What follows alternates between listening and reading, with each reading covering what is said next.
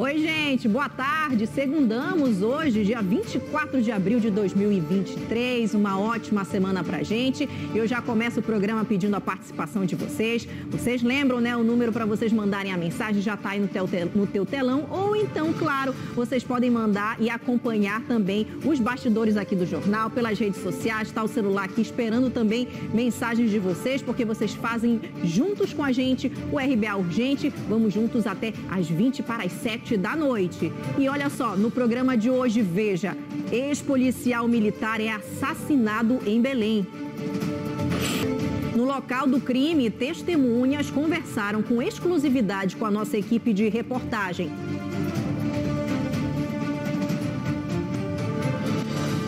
Temos esse trecho para mostrar para vocês ainda hoje no RBA Urgente, trecho que foi aí falado para nossa equipe de reportagem com exclusividade já já para vocês. Ainda presa a mulher que, segundo a polícia, emprestou as chaves do kitnet para os supostos assassinos do ex-PM Cássia Medeiros.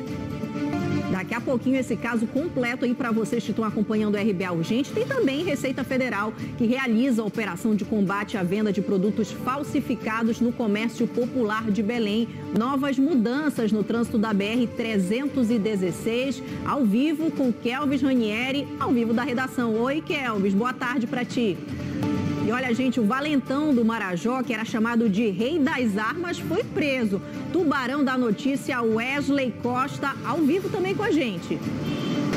Isso, é agora, é notícia, é informação urgente comigo, Natália Cauage. Seguimos também com informações que estão em destaque no nosso ambiente online lá do dol.com.br. E para a gente saber quais são esses destaques, chamo ele, Diego Beckman, aqui conosco. Tudo bem, Diego?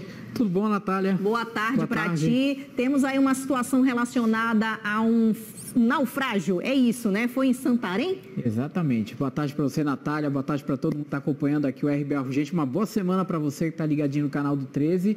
E a gente começa com esse susto que os passageiros da bela Santarém, ali no oeste do, do Pará,